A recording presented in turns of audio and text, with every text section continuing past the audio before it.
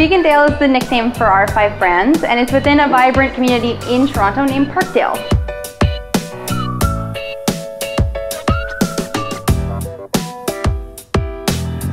One of the biggest things I get is if I could eat this way all the time, I would be vegan, which is pretty awesome, right? I've had a lot of people who are saying, oh, I didn't know vegan food could be this good. So yeah, we're fooling lots of people.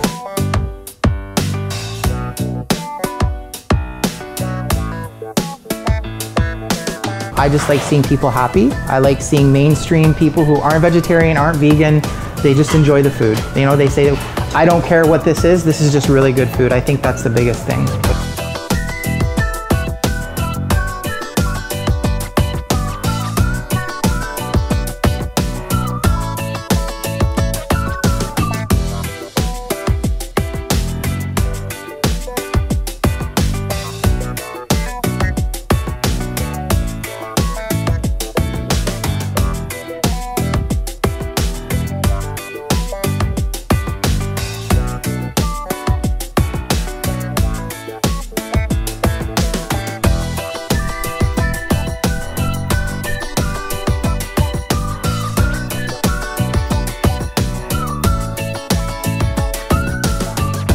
We love this neighborhood because it's so diverse.